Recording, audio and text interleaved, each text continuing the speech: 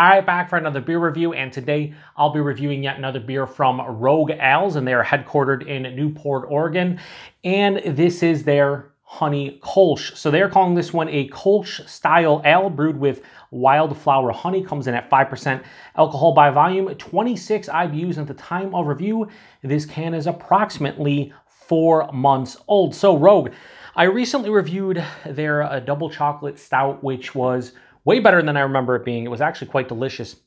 And I saw this when I was picking up beers for uh, the Shelfie Beer Reviews for the month of June 2022. And I was like, you know what? Honey Kolsch sounds perfect for the weather right now. We're just about to get into summer. So yeah, I'm really excited about this one. Now, when it comes to Rogue, I've always enjoyed most of their beers to some degree.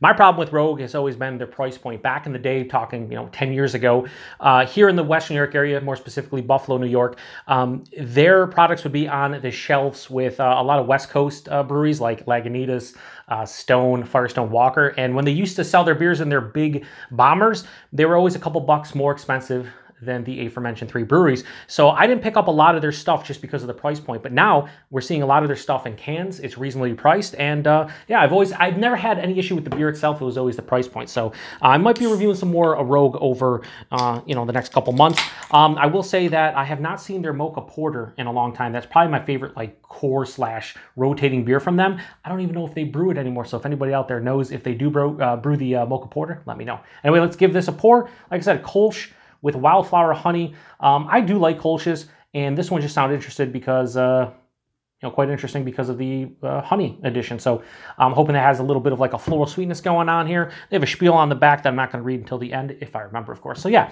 that pours out like Kolsch, a little bit of like a chill haze, but also a little bit of haze in general. Has a lot of carbonation. There's actually a lot of fine particulates uh, in the beer. Uh, has about a finger of a bright white, fluffy, almost soap sudsy looking head looks like a Kolsch to me, albeit, you know, I, I don't think Kolsch's are usually super clear. Uh, this one definitely has a little bit more of that uh, suspended in animation kind of sediment, which is which is fine by me.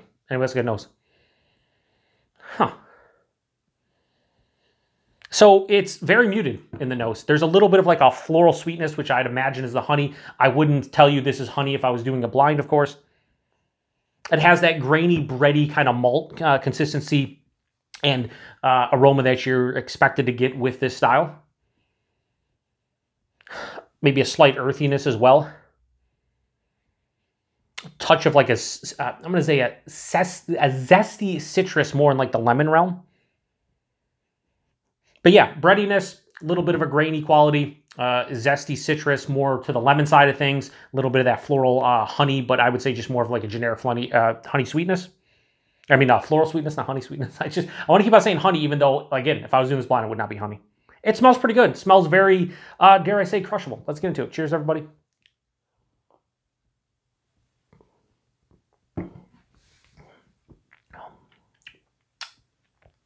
That's really solid. Really nice, actually.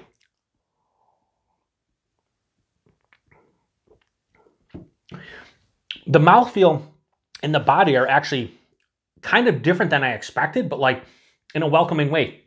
So you're expecting a beer like this to be on the palate at 5%, more like, you know, light body, maybe a touch over. This has like a lower side of uh, medium body kind of feel. It's a little bit bigger, which for some people might impair the uh, uh, drinkability of this one. Like maybe you, you want it a little bit more light and watery.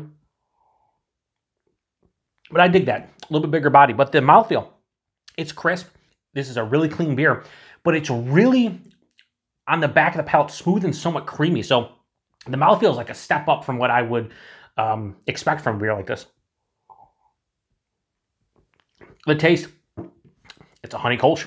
Right at the forefront, I'm hit with big malty qualities. It's bready, slightly biscuity, grainy. As it passes through, there is this floral kind of honey sweetness that hits. And it just like dives in and out.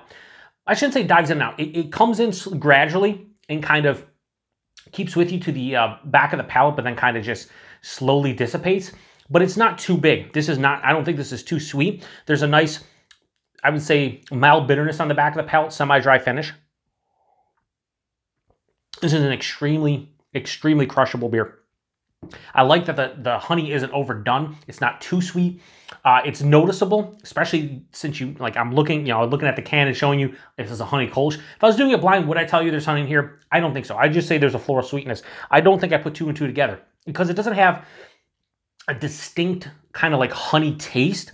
It has like the sweetness or like the floral aspect you kind of expect from honey, but doesn't taste exactly like honey. Uh, but it's really well balanced, super easy to drink. I, I could crush a six pack of this easily. So I'm actually enjoying this one. Really good job by Rogue on this one. I think there might be some people who would want more honey out of this, and I could see where you where you uh, come from um, from that angle. Is that hey, you know, it says honey kolsch. I want to be kind of punched in the face with honey, but when you're drinking a five percent kolsch, I don't want the honey to be uh, too overwhelming. I wish there was a little bit more honey flavor without bringing the sweetness. If they could do that, I think that'd be cool. But they didn't really do that here. But it's still a really good beer. Um, five percent, you really can't tell. So Rogue's uh, honey kolsch I have no problems giving this one a high 4 out of 5, 4.05 out of 5. Why? Because of numbers. Doesn't matter. But if you see this and you like Kolsch's, you like lower ABV kind of crushers, pick this one up. Uh, price and availability, again, like I told you, the price points of uh, Rogue's products coming down in my neck of the woods. I believe it was $11 for a six pack of this. I picked up a single can. Um, I think the can, uh, I got it in a mixed six pack, but the six packs were, I think, $10.99 yeah, I think it was like 10.99. I got this in a mix six at my local Wegmans grocery store, uh, so I paid a buck 83 because it's 10.99. I, I paid the exact same thing. It was 10.99 for the so the single can was the same if I would have bought it. Uh, I don't know what the hell I'm talking about most of the time. You should know this by now on the Beer PaTroll. Anyway, uh, yeah, 10.99 six pack and availability. I feel like if you see Rogue products, you probably should see this one. Um, again, this one was uh, canned back in February, about four months uh, ago. So I don't know if this is supposed to be just a spring seasonal. I'd imagine it is. Let's read the back real quick. It says, Honey Kolsch is our liquid ode to bees.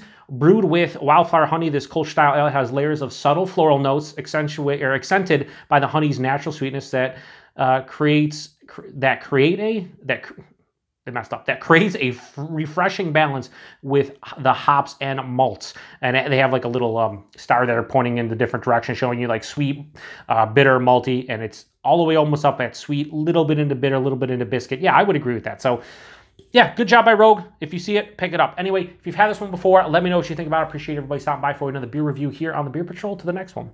Cheers.